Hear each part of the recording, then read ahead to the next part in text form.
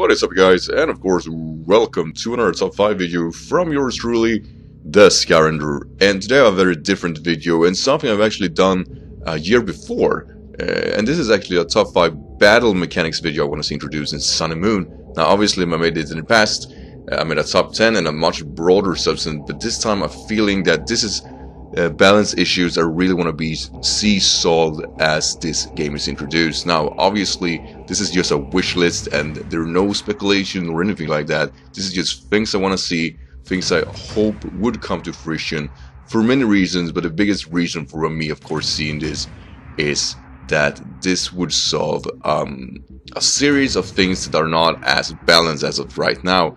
So, with all this said, let's get into the list. And the first one we're gonna mention is, of course, and I do believe you guys will agree, a raise or a buff in a hail environment. Now, as the game is right now, hail is, to be all sense and purposes said, it is like sandstorm, but not like sandstorm. It definitely doesn't really benefit any ice type of any substance or whatsoever. So the thing I want to see, and I can't stress this enough, um, I want to see that every ice type in Hail get a stat boost much like Sand does, uh, but instead of 50% boost in special defense, get the boost in their defenses, because usually uh, ice type are a bit weak on the defensive side, not mentioning Avalugg. But with all that said, that's something I really want to see, and I want to see introduction of, of course, new abilities, much like um, the Sand already has before Sand Force and Sand Rush. I want to see I-types getting this kind of environment. I would love to see Glaceon getting, for example, um, Hail Rush or something like that to solve his kind of bad uh, speed, and it would be becoming a bit more, um, a bit better with that in mind. Uh, to be honest, and I don't know if I should go even further. I had written down that I really want to see reduction of super effective damage maybe instead of a buff in uh, its um, defenses, which would make all the kind of sense too but just in general fix the hail system, make this a viable um, weather comfort because of right now it's just it's an annoyance and it's actually really bad out of a competitive standpoint at least. The next thing up was first of all an item, a new item introduced that was gonna work as Magic Guard, but I take that back because as I was scripting this I do realize that Magic Guard, besides actually taking off hazard damage, which was my primal uh, idea with it, it also nullifies Light of Burn and, and, Toxic. So I feel that that would make that power a bit more broken, to be honest. And obviously that would make the likes of Chansey, or actually Blissey, quite dangerous. So not nullifying um, has, or not nullifying uh, the likes of status, but definitely what I want to see is something that nullifies hazard damage that would solve a lot of Pokemon's issue. That wouldn't make them a lot better, but it would make them less sustainable for the issue in mind. Of course, like Articuno and Volcarona would be slightly more usable. You would not be forced to use a spinner if you only have one mon or two weak to this kind of environment. So an item that nullifies hazards is something I really want to see. I think that would solve uh, a few things with this game because there are so many mons that are bug flying that suffer a whole lot. They're not as good, of course they're not, but forcing them to be using focus sashes because they want to sustain themselves, I feel that that's it's not bad, but there are things they can do better. And it would be nice constructing a team with not a spinner or defogger in mind with that very reason. And of course, with that said, my number 3 pick is... Make the move mist, like defog. Now, this might come as a surprise, but as you guys know, a mist is not the most, or really is not a good move at all. It's an ice move introduced in Gen 1, and uh, it only makes sure that no uh, stat, stat cuts are being accessible to you for 5 turns, being the likes of, for example, Screech, Intimidate. In all general, it's quite a bad move. Now, what if Mist could actually make sure to remove like um, yeah, like defog, basically, remove hazards. Uh, it would not be as punishing for the contrary users you could be facing, and at the same time, it would open up for a plethora of new possible defoggers. Um, I'm gonna mention the monsters that are worth mentioning, I guess. Um, we have in Mewtwo on that list. I'm just saying. Uh, but also, or actually I can just mention all of them. All, most of these mons are ice-based, which means that they are extremely weak to hazard from beginning, but we have a few options that are not weak to hazard, which makes them kind of nice. Uh, so we got Lapras, Articuno, Mewtwo, Quagsire, uh, Mamoswine, Suicune, um, what do you call it, Ludicolo, Pelipper, of course, uh, Masquerain, Wailord, Altaria, um, Empoleon, um, Abomasnow, Cresselia, Vanilluxe, Aurorus, and Volcanion, and also Cryogonal. So a few of these already are possible defoggers and spinner, but not all of them. And of course, we should mention the monster that actually becomes a bit more unique.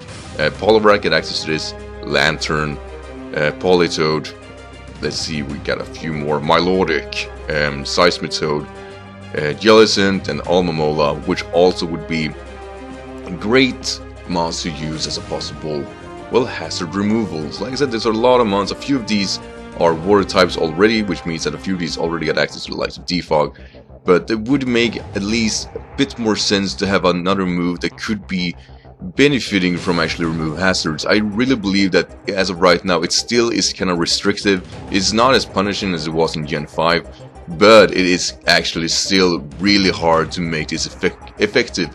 Um, so Mist or at least some other move that are not as useful that are weather based in some fashion for a possible hazard removal and I think Mist is the best uh, candidate for just that a change of the freeze mechanic. Um, before going into this more deeply, uh, obviously I have to really thank Ellis and Rob, which are good friends and very very good battlers in general, uh, to patching this through me or actually suggesting this. And they actually been thinking about how you could solve the possible issue of, of course, um, the freeze turns. As a freeze working right now, obviously there are always a small chance, I do believe it's 10%, and once you're freeze, you only have a 10% chance of actually falling out. Obviously, uh, with a fire move or scald, you would break through out of it. But other than that, you actually are a sitting duck. Uh, in a competitive battle, that's actually a big issue. Um, and as I play, of course, hyper offensively, that is a no can do. I mean, I'm I rarely use a cleric. Scald, yes, possibly, but that's about it. So it's a definitely a big issue. And the only change I can see with freezes would be to make it a set amount of turn instead of a chance of falling out. If it works much like sleep does, that would probably solve the balance issue as of right now, or the chance issue, I guess you should say, about it. Now, it still doesn't solve the complete freeze issue, you still don't have any move, for example, like Sleep Talk to kind of uh, work around it, but I still believe that this is probably the best way of dealing with it.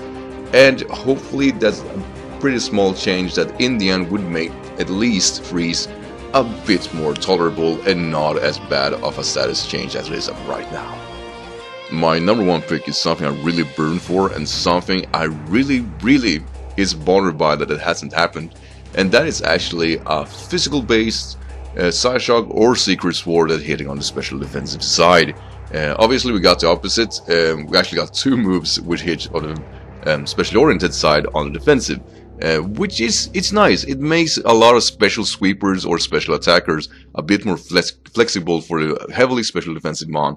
Now we haven't opposite, and obviously this move should be restrictive, much like the Psyshock is. Psyshock is mostly to of course, uh, psychic Pokemons for stab, which of course will only be an 80 with stab being 120. I think there's a fair power to that move, and I would see um, the opposite side of this move being just as strong or weak, depending on how you see it, but also as restrictive to fighting mons, with a few, of course, um, differentials. I do believe a few fairy mons can learn Psyshock too, so probably Dark type getting access to this or something like that. Just it should be restrictive. It should be um, a, a, splashable move um, to make more balance. And obviously, the mons I see getting this move would definitely be the mons such as Poliwrath, and like I said, all fighting types in general, but Poliwrath would probably uh, like this move a lot more than most others. And of course, the mons like Medicham, for example, would be hit on the special defensive side with its pure power boost. It would make that mon pretty darn nasty. Um, so yeah, I think that's a pretty fair way of seeing it. I don't believe or I don't see why it hasn't before because it, it's not a balance issue, but it would make sure that physical sweeper are not as restrictive. Um, they're still good today. A lot of them are very, very good at keeping themselves afloat, but not being forced to go mixed and hit hard is something I really want to see and I think it would be fair for the meta too to see something like that. So yeah, that's the list. Now obviously here, those 5 battle mechanics could be actually been summed to 4 changes to freezes I want to see and a real change I actually do want to see. Um, Ice Pokemon obviously being nerfed from Gen 1 basically and uh, Stealth Rock is still a big deal for a lot of mons. Those things are the, what I want to see. Uh, it's it's not a balanced issue, but it would make a lot more Pokemon viable, and it would make team building a lot less restrictive as of right now. And uh, yeah, just want to see the development of those changes in mind. And hopefully you guys see something like that too. I really want to know what you guys are thinking. What are battle mechanics you guys want to see in the next installment? Make of course sure to write that down below and I'll respond to them as fast as I can. And thank you of course as always so much for watching this video. It's been a blast to seeing you guys around here just chilling, listening to my beautiful voice. And if you want to see more sub 5s and 10, make sure to smash that like button. Yeah, smash it. Um, like a punch of a baby. Um, punch from a baby. Hmm. Um, anyway, I'm an idiot. Thank you so much everyone for watching, and I see you in the next video. Until then guys, take care. Bye.